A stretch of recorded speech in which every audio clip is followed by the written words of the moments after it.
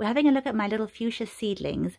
I'm growing them in the house since I sowed them back in March. They don't really want too much sun, but they do want a warm environment, and so I'm keeping them on my windowsill. They are not frost tolerant, so I need to keep them inside during the winter. At the moment, we are in the summer, but I'm still keeping them indoors, and I'm keeping them quite moist, which is attracting fungus gnats. So what I've done, I usually would um, sprinkle cinnamon all over the the soil and that would sort of because it's a natural fungicide it sort of makes the soil completely inhospitable for those little fungus gnats and then drives them away. But at the moment I've run out of cinnamon.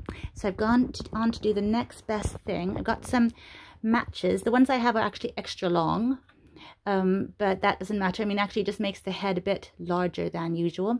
And so what I've done is I've just taken the the match and stuck it down I've done about three, well, maybe four or five or six um, matches in each little, each little pot here for each plant.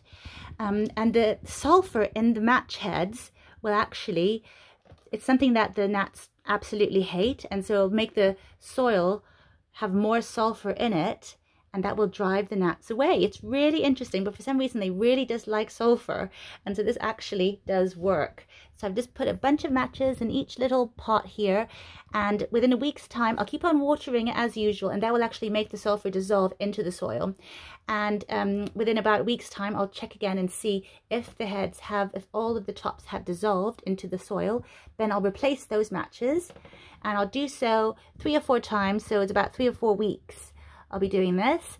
And by the end of that time the, fungus gnats should be completely gone. So that'll be really good because they were really buzzing all over the shop. Every time you sort of move move the pot around there'd be like a little flurry of those little creatures. And I think after I put those matches in I can't see any more right now. How amazing if it already worked. I can't believe that. Maybe they're just hiding because I've I've moved them. But there were definitely loads of those little fungus gnats around.